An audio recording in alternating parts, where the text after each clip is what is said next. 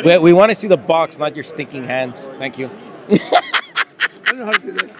I don't know what I'm doing. I'm gonna start with and we are continuing our 2019 Gen Con coverage. I'm here at the Gen Spirit Games booth with David, who I never get to see uh, besides on Facebook, so I got to rip him a couple of times there. yeah, that's right. How you doing, bud? I'm doing awesome, man. Yeah, good uh, first day at the con here? Oh yeah, yeah. It's funny because first day of the con, my throat immediately rips out, Oh, and I just wow. basically grapple my way through the whole thing. Of course, of Yeah. course it does. Yep. So uh, you got a new game Yep, out, absolutely. right? Yep. Battle of the Bards. I've seen this on It's- social it's media two all over. weeks the old. It's like a little baby. Yeah.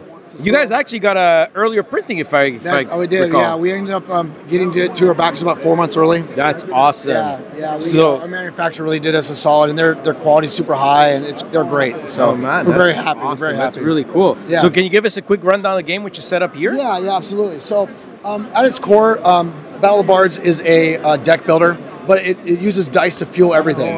Um, in fact, I, I don't even really call it a deck builder as much as I call it a deck nudger, because in, in traditional deck builders, you like get rid of a bunch of cards at once or buy a bunch of cards at once, and in this game, you only buy or get rid of a card one at a time. Okay. So it's it's a it's it's a little bit of a deck builder, like a deck builder light, but it's really about rolling tons of dice. And what you're doing is on a given turn, you're rolling around six to ten dice, and you use the dice to fuel everything. You fuel your card's abilities. You turn the dice in to create performances. You, you use the performances to capture audiences. Okay. And then that's how you score. Oh, that's really cool. I, Yeah. I could see here from the artwork that it's by uh, the same artist as uh, By Order of the Queen, and I believe the same lore, right? Yeah, yeah, exactly. Same world, the Tessendor universe that we've created.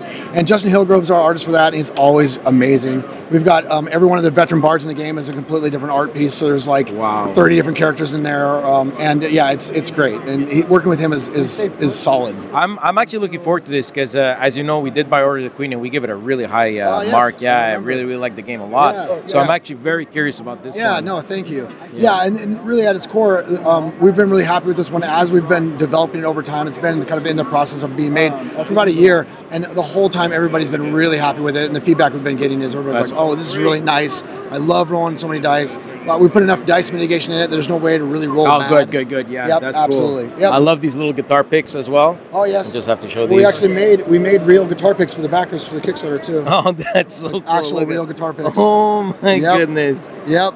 Oh, these are great. Yeah, oh, that's about gorgeous. right? Is that I can do what I want. That's awesome. We Look, did- at this one We here. even did a thing where we created like a first player token that's like a monster. I'm trying to win an award with this. I'm not sure. it's like it's like a giant loot. yeah, yeah. I'm not sure what award I can No, that, that that's made for me. That's uh, Yeah, my yeah, size. one. Absolutely. All right. Well, listen, we got copies of Battle of the Bards, which we'll be uh, reviewing for you guys. So keep an eye out for that. David, thanks a lot and have Yep. a good con, all right? Absolutely, man. Thank you. Take care. Subscribe now to our channel to stay in the loop. If you like our work, help us continue by sharing the channel to your gaming group. Thanks for watching and happy gaming.